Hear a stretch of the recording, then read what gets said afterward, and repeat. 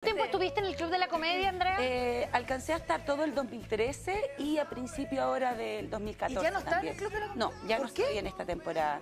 Porque se decidieron otras cosas. ¿Quién- Eh. ¿Quiénes son los que se decidieron? Mi- ¿Te sacaron, te desvincularon, te despidieron siendo más...? Sí, me desvincularon del programa. No, pu- no, no puedo decir detalles así específicamente porque estoy bajo un contrato ante notario donde eh, se protegieron ambas partes, digamos, Claro, y se, se firmó, resguarda. se resguarda la información. Qué raro eso. Pero ¿Y sí, tu sensación? Pero hubo, hubo mm, ah, previo al despido, hubo problemas, discusiones. nada, ninguno, no. ¿Y, y tu No, sensación ninguno. cuando dices, ya, tú no sé, ya no, tenías que venir el lunes, no vengáis? Sí, claro. o Quédate en sea, tu casa claro. ese día y no vengas Sí, para mi, mi sensación fue extraña, obviamente que me dio pena porque hice muy buenas migas con todo el equipo. Eh, mis compañeros de trabajo se portaron de una forma espectacular. Mali, Sergio, Guatón, La Chiqui, La Cote, eh, realmente fueron un apoyo constante.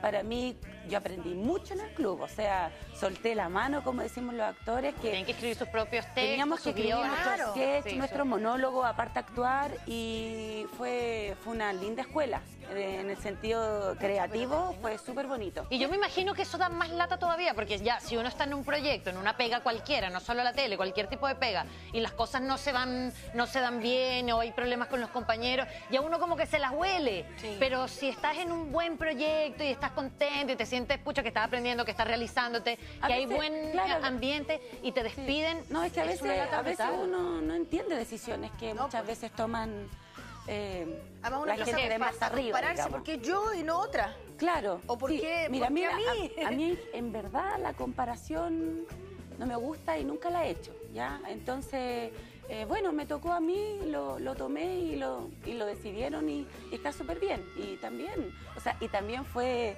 fue en un momento preciso de mi vida donde yo estaba montando mi obra, María Teresa y Danilo, y Teresa y Danilo. esa misma.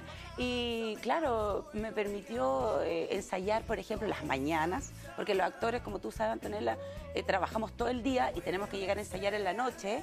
Para que todos tengan el mismo horario. para que todos tengan el mismo horario y estamos todos súper cansados. Entonces ahora fue como los ensayos en la mañana y fue como otro tipo de Oye, pero esta entrada, esta entrada de Luca igual era, era importante, Sí. digamos, para un actor. Tú No. que eres actor, yo soy actor, Sí. sabemos eso. Yo soy actriz y también soy profesora. Entonces también... ¿Profesora de actuación? Soy profesora de actuación en DocuC. Excelente. A primer año. No. Le mando un saludo a mis alumnos. A mis cachorritos. ¿Qué ramo? todos chiquititos. Actuación, eh, hacemos, este semestre nos toca hacer escenas. Escenas contemporáneas y de... Sí, y aparte también hago... Oiga, bueno, profe. Hola, profe. Oiga, profe. Oiga, Andrea, tenemos una sección ¿Ya?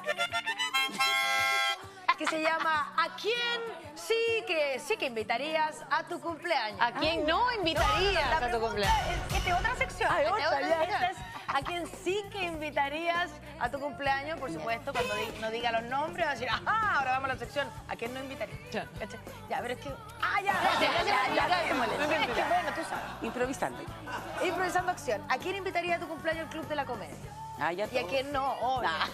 No, yo invitaría a todos. O sea, para mí fue un, fue un grupo, fue como una gran compañía de teatro, ¿cachai? Porque nosotros teníamos reuniones, participamos todos en los monólogos de todos, siempre había eh, muy buena onda, eh, compañerismo. o Pero sea, muy buena onda tuya con el resto. Y el resto o, o el- o entre el resto también veía la misma buena onda porque nos sorprende.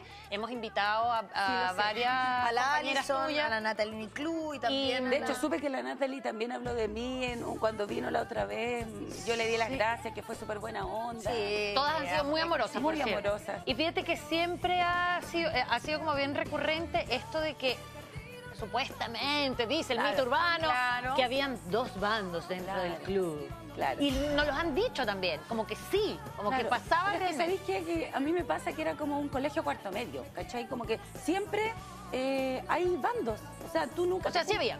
O sea, tú nunca te juntáis con los mismos. Claro, te juntáis con algunos. Te juntáis con algunos, tenéis más afinidad con otros, pero por ejemplo, al finalizar los monólogos salíamos todos juntos a comer, a tomar unos piscos sour, a comentar lo que había sido el programa. O sea... Yo por lo menos no, no viví esa experiencia. Yo creo que cada, cada persona y las chicas también, todas las niñas que estuvieron, tienen distintas personalidades. Entonces, eh, yo por la experiencia de ellas con ellos no voy a poder basarme en eso. Yo- Obvio, cada quien aprende otra por su persona, experiencia. tengo otra personalidad. Bueno, por eso. Por ejemplo, a Fabricio, a Fabricio Copano, ¿lo invitaría a tu Sí, cumpleaños? de todas maneras, sí. No, sí, a todos, de verdad. A sí. Sergio Freire. Sobre todo a Sergio. Sobre todo Bueno, a sí, Sergio. Sergio Al que te dijo que no seguías, ¿quién fue? ¿Un productor? No, fue el director del programa. A él no. Eh, no, también. No invitemos a No. ¿sabéis lo que pasa? No, no le metemos, porque démoslo fuera. Grupo No, no, no, no, no. ¿Sabéis lo que pasa?